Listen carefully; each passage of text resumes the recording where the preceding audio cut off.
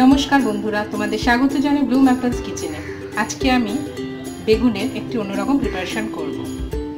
বেগুন বাহার। বেগুনগুলিকে আমি হলুদ, নুন আর একটু লাল লঙ্কা গুঁড়ো দিয়ে মাখিয়ে রেখে দিয়েছি। এগুলি একটু ছোট সাইজের বেগুন, আমি এভাবে কেটেছি। বড় বেগুন হলে আরও লম্বা লম্বা হবে। এটি রান্না করতে লাগছে পেঁয়াজ এটা একটু হাফ ব্রেড করে নিয়েছি। আদা, রসুন পেস্ট পেঁয়াজ কুচি, লাল লঙ্কা গুঁড়ো, টমেটো কুচি এরকমভাবে কাটা। দুটো কাঁচা লঙ্কা, ফোড়নের জন্য কালো জিরে, শুকনো লঙ্কা, তেজপাতা, আর আছে ধনে পাতা। এছাড়া লাগবে স্বাদ মতো নুন আর সামান্য মিষ্টি। আর পুরো রান্নাটা আমি সর্ষের তেলে করব। প্রথমে আমি বেগুনটা হালকা ভেজে তুলে রাখব। আমি সর্ষের তেলের মধ্যে বেগুনগুলি হালকা ফ্রাই করে নিচ্ছি। বেগুনগুলি কিন্তু আমার হালকা ফ্রাই হয়ে গেছে।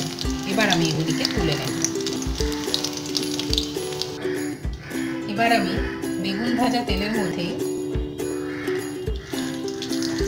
কালো জিরা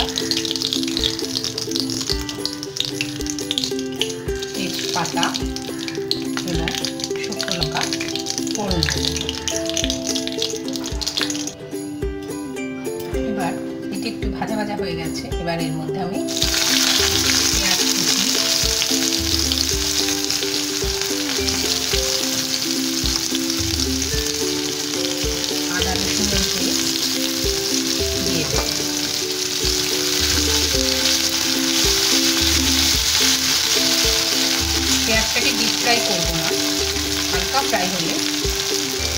বাটাটা দিয়ে দিই পেঁয়াজটা একটু মজে গেছে। এবার এর মধ্যে আমি পেঁয়াজ বাটাটা দিয়ে দিই। পেঁয়াজ বাটা দিয়ে দিয়েছি। এবার এর মধ্যে আমি স্বাদ মতো লবণ দেব। বেগুনের মধ্যেও লবণ মাখানো ছিল, তাই লবণটা বুঝে দিতে হবে। এবার এর মধ্যে লাল লঙ্কাগুলো দিয়ে দেব। আর দেব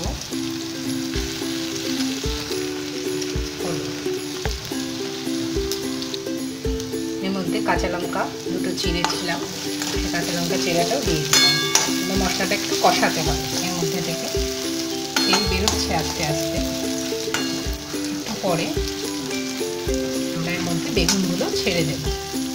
মশলাটা কষে এসছে ডিপ ফ্রাই হবে না। এবার এর মধ্যে বেগুনগুলো দিয়ে দেব। দিয়ে আবার কিছুক্ষণ নাড়িয়ে নেব। এবার আমরা এটা একটু ঢেকে দেব। জল আমি ইউজ করছি না। যদি কড়াইয়ে লেগে যায় মনে হয়, তাহলে সামান্য জল ইউজ করতে পারেন। এবার আমি এটাকে ঢেকে দেব, তাতে বেগুনগুলো মজে যাবে। ঢাকনাটা খুলে দিয়েছি। বেগুনগুলো আমার মজে গেছে। এবার আমি এর উপর দিয়ে টমেটোটা দিয়ে দেব।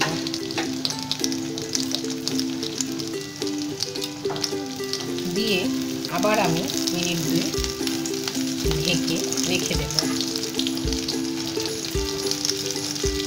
হালকা হাতে নাড়াচাড়া করতে হবে, কারণ বেগুন ভেঙে যেতে পারে।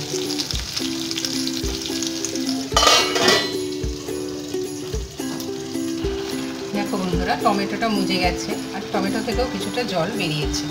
আমি এর মধ্যে সামান্য চিনি অ্যাড করব। আবার আমি এটিকে দু মিনিট মতো ঢেকে রাখব, আঁচ একেবারে সিম করে। দেখো বন্ধুরা, আমাদের প্রিপারেশনটা রেডি হয়ে গেছে, চারিদিক দিয়ে তেলও ছেড়ে দিয়েছে, আর এটি কিন্তু শুকনো শুকনো হয়। এবার আমরা এর মধ্যে ধনে পাতা দিয়ে দেব। দিয়ে গ্যাসটা অফ করে ঢাকা দিয়ে এক মিনিট রেখে দেব। দেখো বন্ধুরা, আমার সুস্বাদু বেগুন বাহার রেডি এই প্রিপারেশনটি ভাত বা রুটি, দুটোর সাথেই ভালো লাগে। তোমাদের যদি এই ভিডিওটি ভালো লেগে থাকে, তাহলে লাইক করো শেয়ার করো কমেন্টস করো। পরবর্তী আরও অনেক নতুন নতুন রান্না নিয়ে তোমাদের সঙ্গে দেখা হবে। নমস্কার।